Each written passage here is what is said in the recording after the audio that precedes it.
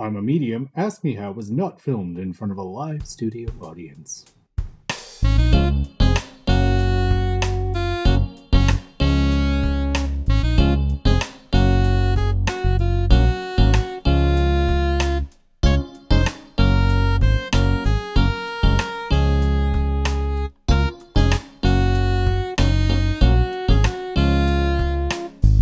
We best friends, but we love talking about dead people. We're gonna laugh and we'll cry. Well, Dana's gonna cry a little bit. We got love bombs all over the place. And let's not act like Matt isn't going to cry a little bit. But we're also going to cuss. So if that doesn't resonate, turn the fuck around. Yeah, we're gonna drop some fuck bombs. But we also want to share our experiences and knowledge about mediumship. So sit down, get comfortable, and remember, You are the light of 100,000 suns. You are. And enjoy. I'm a medium, so ask me how. Welcome back. We made it to episode two. Dana, I had so much fun in episode one. I was like, let's do another. Let's do another. Well, that's a good thing if we're going to do a podcast to want to do another one. But I'm so excited. This is going to so be a good one. I think this is going to be like one that it's for the ages because this one is all about hauntings in the Stanley Hotel. Like we went to the Stanley Hotel, and I think I when we were talking, I think I said before my trip out there a couple of weeks ago, I was like, Dana, I want to go see the Stanley Hotel. And we looked. I think we tried to book an, uh, a reservation there, and it was quite expensive. Yeah, I think it was the cowboy room or something like that. And uh, we had called, and I think if I if I remember correctly, like there's like if you go on their website, there's like four or so rooms that are Mhm. haunted. And I was like, we'll take one of the haunted rooms. And it was like, well, we've got the cowboy room available. And we're like, Mm-hmm. cool. And I think it was $600. And we went, mm, not Mm. tonight. For a night for a night. I mean maybe they'll invite us back and we won't have to pay that much. Um, stanley hotel we're here for you if you need us. Subtle but hint. what but what is the um what is the cowboy room? Because i don't think the viewers understand what the cowboy room is so if you want to tell them like the backstory about like what the cowboy room is Well, from what I recall, and this is what the receptionist told me, right? Mhm. I think the receptionist said something to the extent of like, there's a cowboy that comes that has been seen at the edge of the bed that will sometimes appear to the people staying in the room. And to, if you're a lady, that sometimes they'll give you, a, the cowboy will come kiss you on the cheek. Ooh. And, and that's, that's kind of the extent of the cowboy room experience. So we already had like a predisposition about what the story of the hotel is, just by not even going there. Yeah. And I and I think like I, I learned a lot going through the Stanley Hotel. I think we arrived there. It was a gorgeous, it's in gorgeous Estes Park. Let's just take like a moment and hold space for that view because oh It's so beautiful It's up there. so so beautiful. And then um we ended up arriving there and we got out of the car and we just approached it and we didn't really know a lot about the Stanley Hotel. I think I learned a lot about the history just based on the tour that we ended up taking beforehand. But uh, what were your first impressions about the Stanley Hotel from a psychic medium standpoint? I mean, definitely you felt energy there. Like it's Mhm. definitely um you could feel as you there's different buildings of the hotel. Like there's different sections of the hotel that you walk through and you Mhm. could definitely feel as you walk through different areas different feelings in your body. Um we talk if you're new to mediumship, Matt and I talk a lot about feeling as the language of spirit. So we kind of use our bodies as antennas, if you will, for receiving information, um, spiritual information. And you could definitely feel different things in your body as you walk through different areas of the hotel. Um, so that was that was definitely present in that hotel, hundred percent. It was my first um, walkthrough as a medium, like an evidential medium, because I mean, I normally read people, right? Mm-hmm. So shifting my abilities, and it was a good exercise for myself. Like I felt a, like it was alive in a weird way. I can I can clearly say that it felt alive. It had a lot of energy to it. you could feel the history not only just viewing it but it felt like it had a little buzz to it that like a normal place wouldn't i know that stephen king wrote the shining there or got inspired by the shining or however he went about doing it but you could feel that even that would have an undercurrent there right? The the story of stephen king would have an undercurrent because it's everywhere. It's everywhere there. Like any place you turn you see hollywood like a couple other movies have been filmed there and you just felt it. Like you felt that this place was special and it had a history and it was gorgeous. Such a gorgeous building. Oh, it's beautiful. And the views and the mountains and all of that. And um, so it's definitely a special place. Um, Mhm. What I did enjoy and and both both Matthew and I can say that we are we are evidential, meaning that we like to be proven. Like we want to have see proof, proof, proof, proof. And I would also just call myself, and I don't want to speak for Matt, but like I am a skeptic. I want to be proven. I want to like, I want to know. I don't, I want to Mhm. make sure that I'm not making stuff up. And whether that was in my own development or whatever, like I want proof. I don't want somebody to just say this is haunted or this has this activity or that activity. Like I want proof. Um, so we went in there with very non-biased. Um, we purposely, I think the most we knew walking going in there is kind of the chitter chatter of other people saying this is a haunted hotel. Um, the the most that we went and did before we got up there is we tried to book the the cowboy room. We went mm, 600 is too much. Mhm. We heard the story about the the cowboy. We knew the stories about The Shining because everybody knows The Shining and the Stanley Hotel. But beyond that, we didn't know any of the stories or any of the ghost stories or anything like that. Um, so we really went in there with like not knowing anything and a very unbiased viewpoint. And we just kind of went in there with an open heart and open mind and like, let's just see what we see and feel what we feel. Um, w- and then we had a, a, tour, a ghost tour uh, scheduled through the hotel uh, that evening.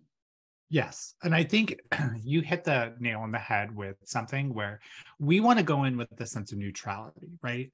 So the more information that's fed to us, the more our active mind or the part of our brain that wants to fill in like the gaps of everything and create those elaborate like daydreams and all that stuff, it doesn't help our mediumship, right? So we would go in not knowing anything about the location, anything about the people involved in the actual history of the building because it gives us a chance to write the story ourselves through the spirit communication and the evidence that rolls through. Like I am Dana, you know me. I think most of the people on TikTok know that me. Like I like to just base everything in science, right? And evidence because that we can speak to. And I know I watch a lot of those shows on like like a major channel that runs a lot of like ghost shows. And I always leave as an evidential medium. I'm I get I get so fucking angry. I'm not gonna lie. I get very irritated because they play off of each other, right? Yeah. So like once one person knows, and like uh, like what the pattern that I see is like when the investigators arrive to the building, you always have one person explaining to the other investigators the history of the building, the spirits that are involved in it. There's always a lady in gray, and she's always standing at the window looking for her lost lover. Mm-hmm. And like, but it plays the history and it's very, very repeating. And then by the time they exit whatever building that they're in, they're always like, this place is evil. Well, if it was evil, then it would kill you, right? It, it, you wouldn't walk out of there unscathed, right? And, and I think that's our imagination that kind of creeps in, in my experience and my truth. And I can only speak for my truth and not necessarily anybody else's, is that our brain is going to want to associate any bad experience to the story that you're told. And you're just building on what somebody else is saying, but not going by with your own experience. What I find about haunted locations. And and i think when i went with you that was my first major like investigation. But i've been to haunted locations as a medium but i've never like what am i going to get? And i've got somebody else that i can corroborate later on at a, at a different date. And yeah, you're gonna be uncomfortable in some spots because you don't know what you're picking up on that can be validated through evidence, right? So your brain's gonna want to be like, get out.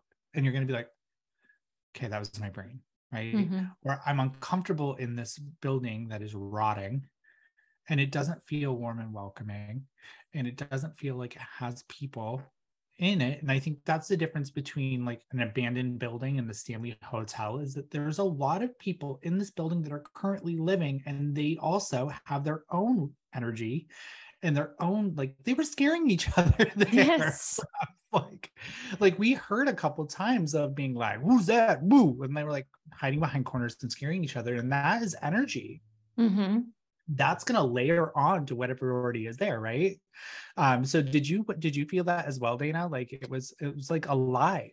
Yeah, and and honestly, like parsing out like what is the energy of the building, what is the spirit energy, and what is the human energy in the space Mhm. was there's there was a lot to parse through there. Mhm. Um, so I would agree, like sitting there and being able to sit with another medium and parse some of that out was was very beneficial, at least for me.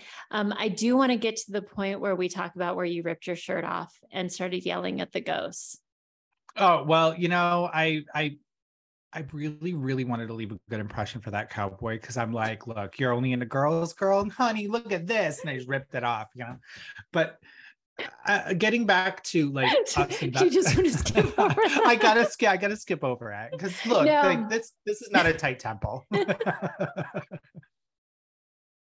not a tight temple. I got to do a couple crunches before I can rip my shirt off for a ghost. but but i i want to talk about the human element in that in wanting to build a story because there was definitely that um Mhm. you know matt and i will get into a little bit of like what we found prior to the ghost tour but there was this constant like we want to spin yarn and we want to spin ghost stories and we're here to scare you and we're going to turn Mhm. off the lights and make you and and so and even the the the tour guide was like okay do you feel and woo woo woo and i'm going to say we caught the the tour guide in a couple of lies We did. Uh, Can I just do this? Like every time we say like uh, haunted, I'm like, ooh.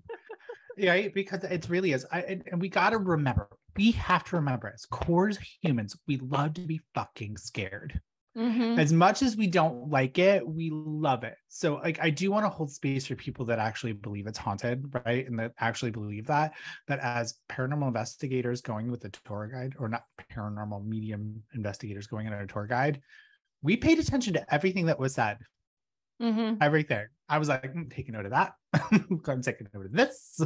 right. So like we were more, more astute to the things that were going on around us and what was being said i think after that but let's let's fast forward a little bit Dana. so we ended up going into that like i don't know if it was like a billiards or a gaming room or like a common sitting area and we made sure that we stayed separate so like if dana went somewhere i wasn't standing right on top of dana i wanted dana to have some space so if she got anything i couldn't hear it if she wrote something down i couldn't see it so that way when we corroborated our stories or we got our evidence we could be like, hey, I got this one, you got. So you had gone and you sat over on this chair, and then I went Mhm. into this little like bench nook, and we were just sitting there and I'm looking at you. And we closed our eyes and we felt the energy. Mhm. And and you what did you get in that room? Well, I kept on feeling poker games or like game tables, like gambling in that room. Mhm. Um, and then um, also something about an elevator. Mhm. I did as well.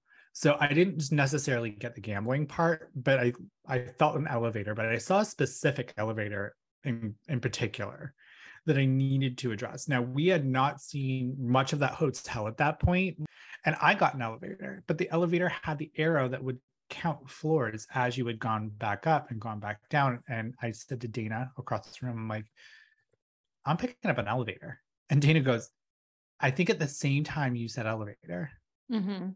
and I couldn't understand you. And I was like, okay, we could get closer. And so I said, this is what I'm seeing. And I need, I'm drawn to some elevator with that thing. So then we had gone out of the room and back into the main common area. And we saw an elevator and no dice on that arrow. Yeah. Yeah, it didn't I have was- like the thing that you were talking about. I was, but we were like elevator. Okay, that's maybe it. Maybe it changed. Maybe And they to- did some renovation. And to be fair, we didn't know that there was another building. We literally we were just like going in green. We're like, we'll just go in this building. And we thought, as far as we knew, like that was the main building of the hotel. We really didn't know where we were. Oh, 100%. I thought that that was it. I didn't even realize that there was a separate section, like another entryway into it. And then we ended up outside in the court. And then we stumbled across the women's side. And then we went in. Mhm. And it was very, it's a very gorgeous hotel. It's very spacious. They have an awesome, amazing, like old car in their women's lobby. And then we look to the right and there's an elevator With the little dial. with the little dial. And then Dana was very smooth. she went up. and we went we went up and or we got in the elevator and um this this guy was like or i intuitively pressed four i just Mhm. i just picked a, a floor number and and the guy looked at matt and i and said ooh you guys picked the spooky floor or the haunted floor and we are like yep hmm yep we sure are Oh, yeah. And then we get off the elevator and you can immediately feel a shift. Like I felt the shift in energy per floor that we went on. I think we only hit a, a couple of floors. I don't think we go on every single one of them, but I think we at least hit two and then we hit 4 And then Mhm. we had gone down and skipped three because I think three is like mostly where they put guests. So I was like, mm, I'm gonna go there. And four felt different.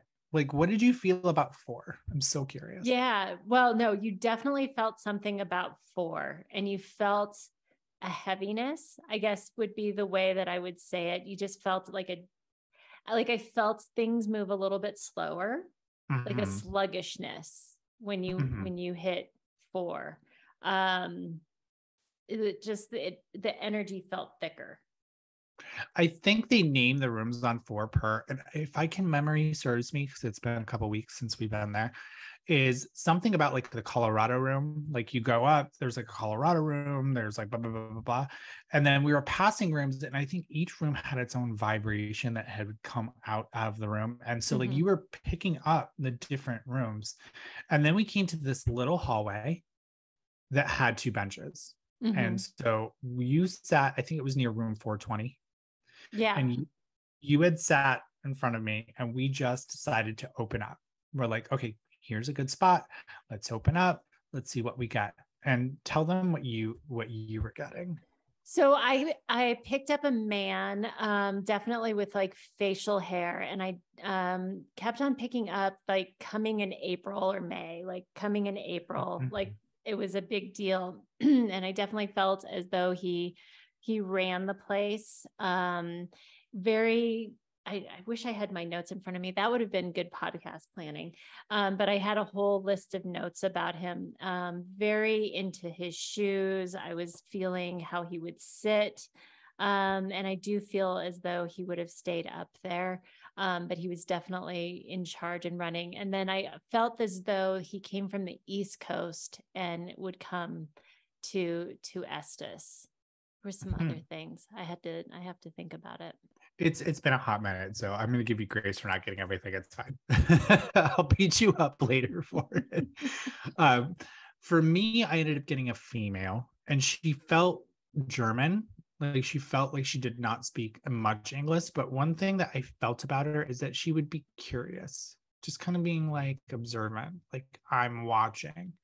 And i sat there and i drew a little photo of her and i think we can just put it in the show notes and hopefully upload it if it works but if not you know what that's fine whatever um but she felt calm she didn't feel angry she felt inquisitive i think i got a couple dates and a couple things um additional to her but when the group because we're not the only one that's walking around those hallways let's be honest i felt her move away from me Mhm. and move down the hallway. So she didn't, I didn't step away from her. She didn't step away. She just was like, ooh, somebody else.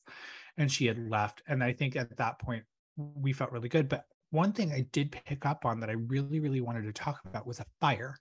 Mhm. I needed to talk about a fire. And that would have been something that would have been really notable. Really, like I'm feeling like it maybe would have been between 420, you know, or something to do with wiring. Um, but as mediums, we're never going to be 100% accurate. So I was completely cool with it. And my job is just to give what I get. That's it. Mhm. Job's done, clock it out. And then we had gone downstairs and then we went by this like cave entrance, like in the main lobby in the main floor. And we Mhm. felt really weird in that particular corner right next to that door into the cave system. It was like it by it was like by a thing that said cashier or Mm-hmm. something. And you could feel as you walk closer to it, you could feel it building. Mhm. And as you walked away, and so we played around with that energy a little bit, like walking away from it and and into it and out of it. And it was consistent in that spot. It felt thick. Like it felt very thick and heavy. It didn't feel scary. It just felt like something's different right here. Like right here, something's different. And I was like, damn, this is weird. Mhm. like I kept saying to you, like it feels weird here. And you were Mhm. like, no, stand right here. And, like Yeah. you kept shifting me around. And then I think we had gone live on TikTok and Mhm. we watched a couple friends read, and then it was time for a tour. So I'm gonna let you talk about the beginning of the tour because you it's what your first thoughts were. Yeah, the i mean it was interesting you know it was um they they kind of take you um well the first place they take you is into the opera house it was the opera house or like where they where they do things um like there's they had they do concerts and and things like that in there um and they kind of sit you down and they say this is so and so the the Mr. Stanley I think yeah. picture and Mrs. Well- Stanley's picture and um, We'll call him Mr. and Mrs. Stanley. I, I don't know if that's her real name. You- it seems may- accurate, right? Mr. Stanley. Mr. Stanley, Mrs. Stanley. Um, and it was like, uh, here's there's a little boy that runs up on the stage. This was their son. And they just kind of give you all of this this information. There's there's this area up top, and you're you're gonna see some ghosts up there. I personally did not feel anything in that No. space. Um Absolutely not. Mm-mm. Matt and I kind of walked around there a little bit and it was just like, okay. Can we take a moment for the tour guide though? Can we hold space for her? Because she's like watching everybody and everyone. It's so cool. I mean, that they were just that into it, right? And they were going around and they're taking pictures and they're being little paranormal investigators. It was so adorable. And here's me and Dana off to the side being like, like we're whispering to each other. And the, the tour guide's starting to notice that like something ain't right with the kid in the hat and the lady with the blonde hair. I call myself a kid. I don't know. But the only thing that I saw that I can't prove is, you know, near the stage, there's two like entryways, and then one entryway on the right is like a downstairs. I Mhm. saw a dark shadow move from one way to another, but I can't prove anything. But I noticed that like I felt like something we're going there. Like that's the mm-hmm. only thing that I felt. The room felt really beautiful. It felt really light and airy. Like it's gorgeous. They don't let you on the stage because they're preserving the stage. So we didn't get a chance to touch every single spot. And then you were like, Do you want to go up in that balcony? Like it's a personal balcony. I'm like, No, there's nothing here. I'm, I'm good. I didn't feel drawn there. And I don't think you did either. And then we had started to go downstairs. Yeah. There's a downstairs area and um I definitely started to feel stuff as we moved downstairs. And what's interesting is they move you down into this into this room. And of course they turn off the lights. But what's interesting is I wasn't really feeling anything in that room that they lock you Mhm. in. I was feeling things in the hallway right outside of that room and I felt um an impatient man. And if I'm if I if I'm honest like he was like fucking fucking shit. Fuck, like really like really annoyed and like just pacing the halls and just like really impatient and like really like Mhm. and not dangerous or anything but just not a pleasant energy. Yeah.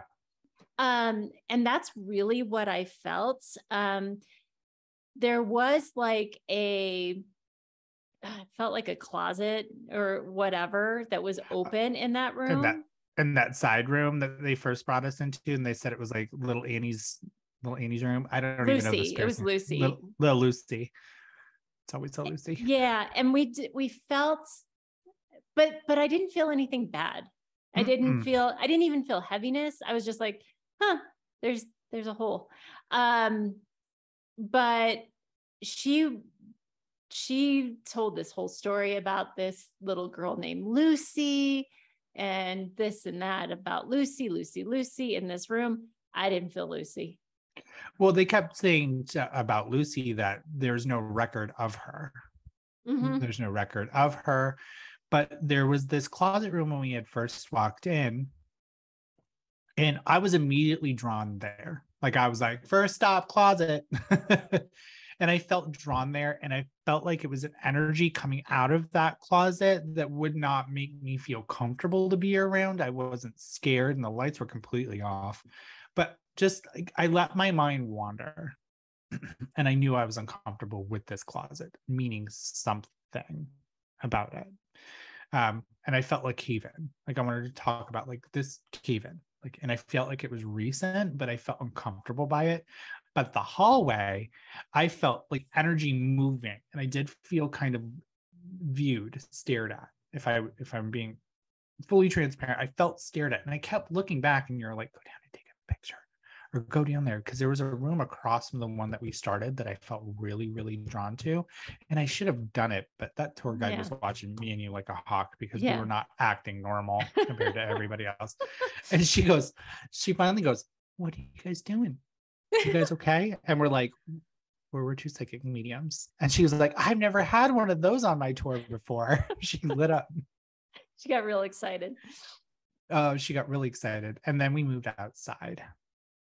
and that's when we heard about where where we got a little bit bit of validation on the gentleman that I was feeling. Mhm. Except the yarn that she spun on that gentleman was that he was a demon and that he was like this evil thing that attacks people and I was like, no, he's just a grumpy, it's just a grumpy energy. Um, I I can't remember if she had said that to the whole group or she just said that to us because at that point we were like, "This is what we doing," right? And it's hard with with Hollywood, right? Because people a lot a lot of the time view us as like, I see dead people and I'm gonna say it's a Wendigo outside your bedroom door sucking your face off. And I haven't Mhm. experienced any of that in my time as a medium. So it's really hard for like the general public that if they don't know that we're psychic mediums, that we're evidential psychic mediums, and a lot of our beliefs kind of root from validation and experience and not like a religious point of view. So I get it and I'm holding space for her. The being like, "Mm, okay.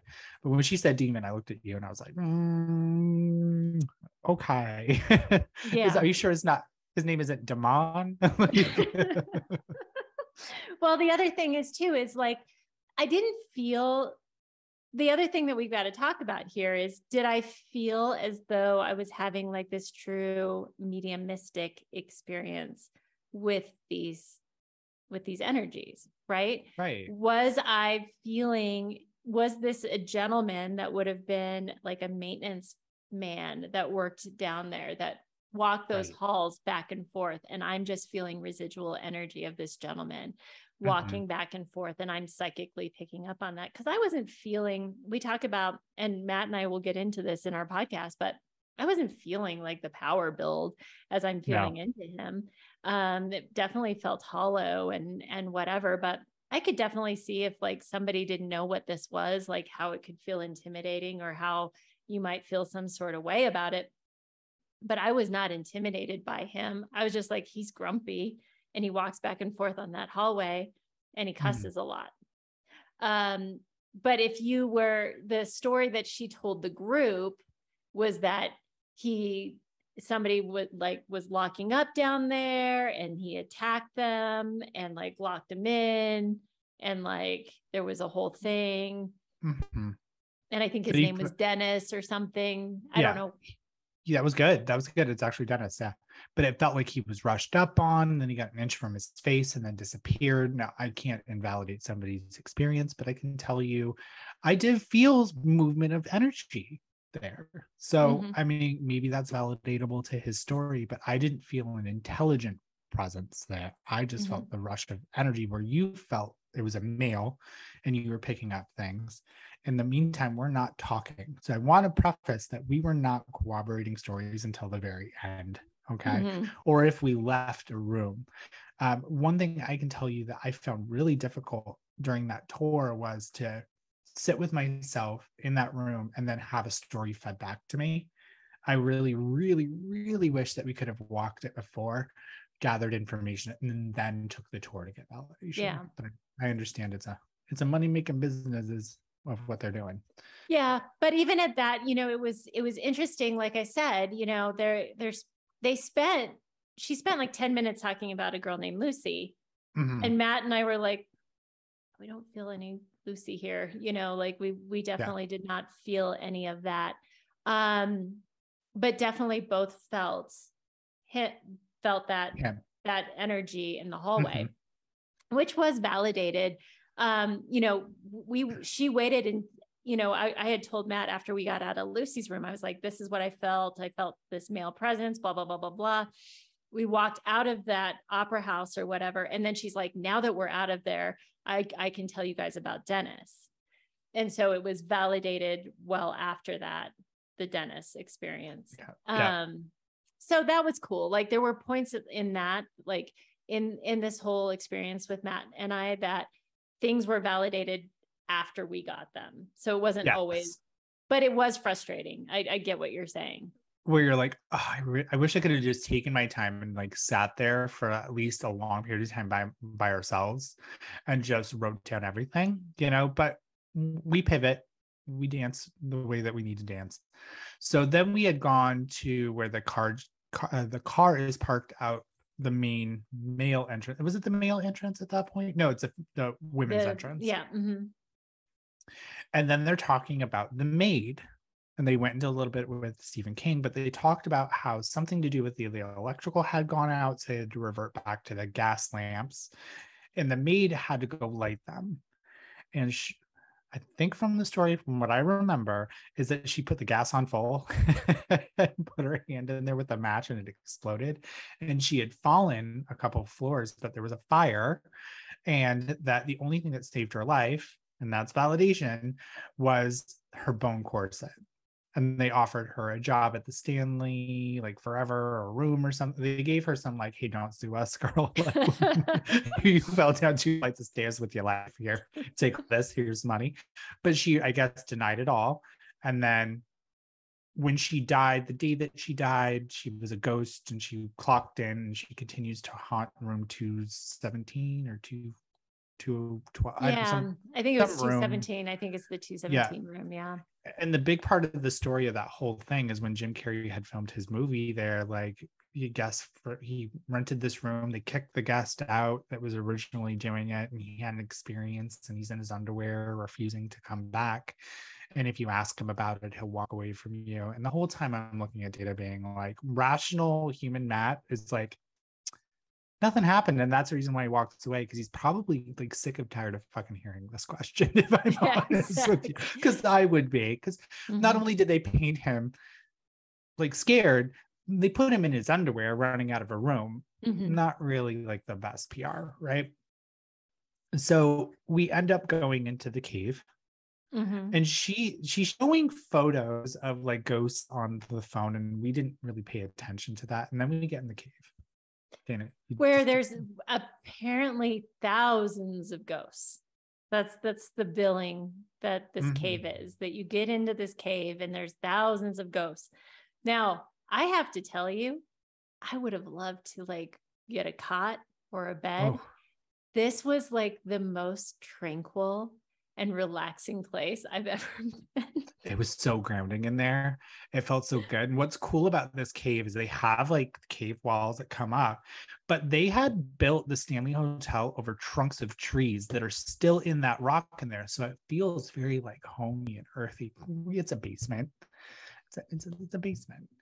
And she said that this cave system had all been connected. And then when they had built the McDonald's and the restaurants below, that they used dynamite and there was a cave in.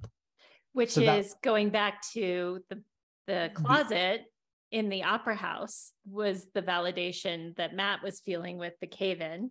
Correct. But it would have been connected to that cave system that they had used as like underground tunnels to get from one to another. I I didn't feel I you know what I felt like it should have felt like a like a Dave Matthews concert where it's just a lot of people. You know what it felt like? My high school play. like two people show up. It didn't feel very crowded at all. It felt very tranquil.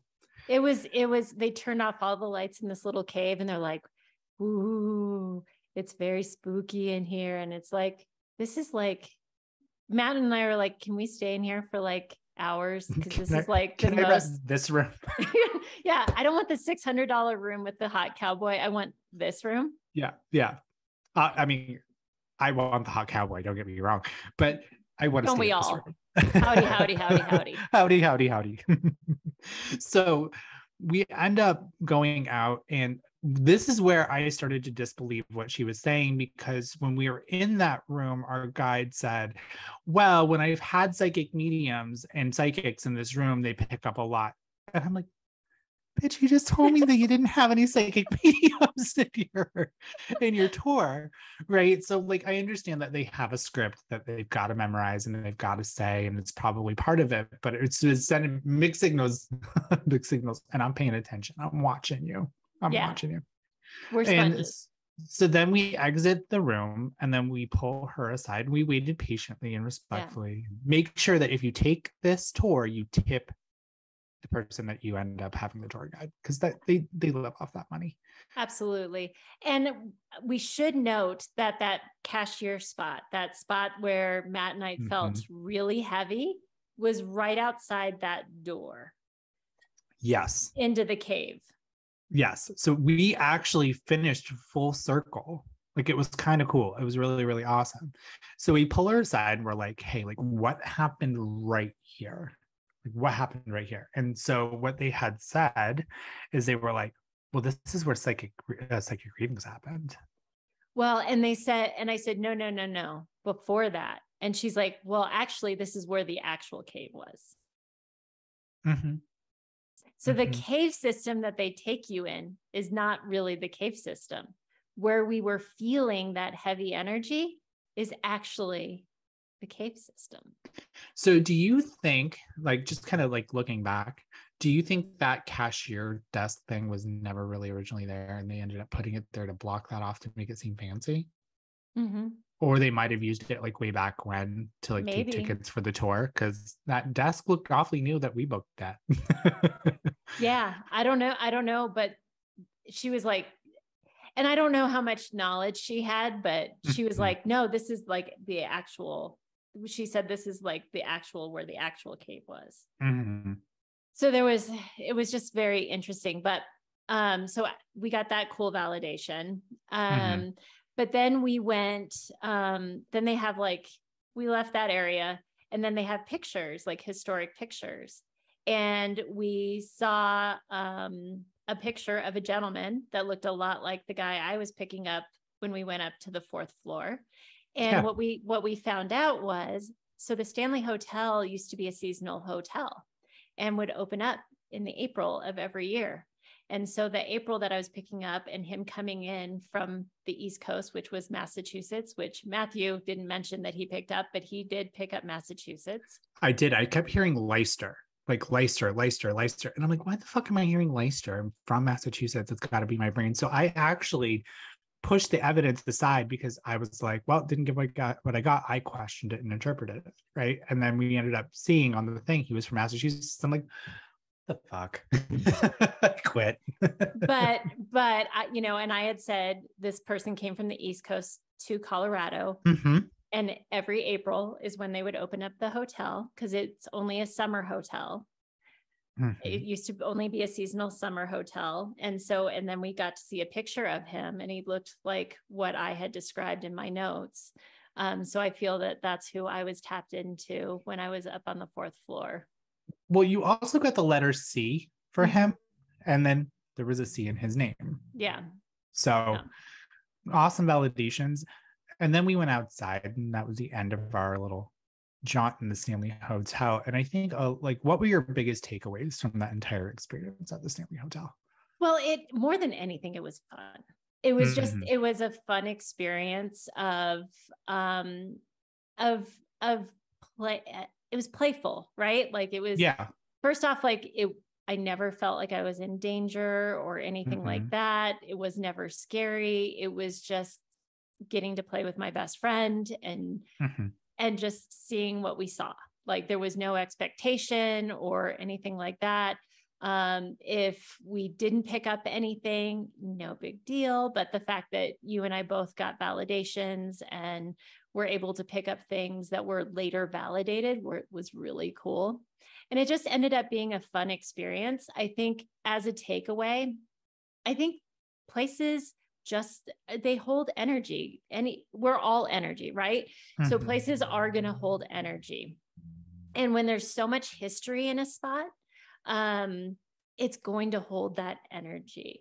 Um, for me, I think as a takeaway, and I think I think it re re um re-hit everything that I already believed about haunted spaces or haunted spaces, quotation Yeah. marks, is that you're just feeling the energy of the place. Like there's nothing stuck there. There's nothing evil there, but you're feeling the energy of what happened in that space. Um, there's residual energy. If you felt that somebody, if there was somebody that w- had a big personality that walked up and down a hallway 50,000 times, you're going to pick up on that if you're sensitive. Um, if you, if there's a lot of people that come to a spot and they're feeding into the energy of that spot, you're going to be feeling into the energy of that because there was a lot of that. A lot of people Yes. specifically go to the Stanley for this experience, right? So they're feeding into that. Um, but more than anything, it was just a lot of fun.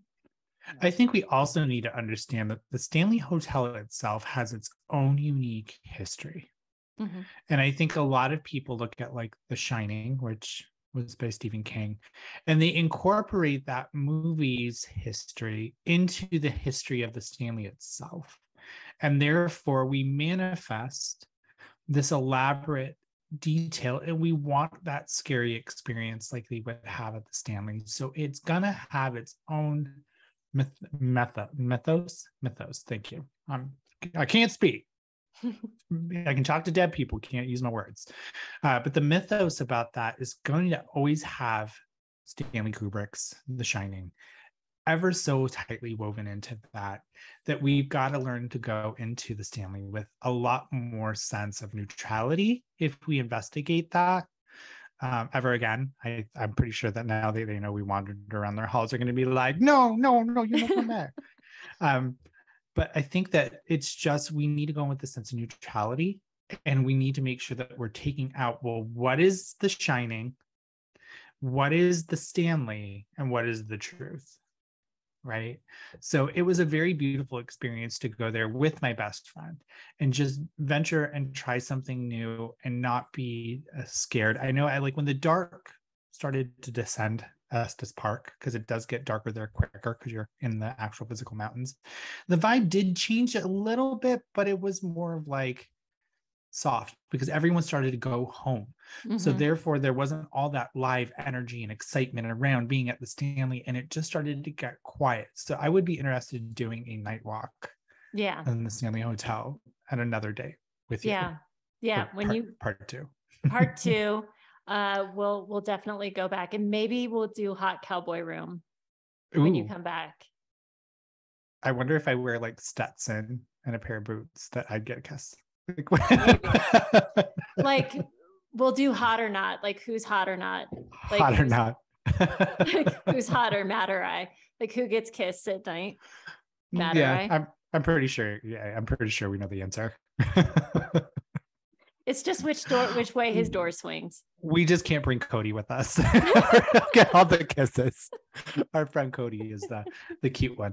So, um, well, Dana, that was the Stanley Hotel. That was That the was it. Stanley Hotel. And I think in, in a takeaway, of of anything to bring forward from from all of this is is the importance of neutrality and whatever you're doing with the paranormal world is just coming forward with a with a state of neutrality.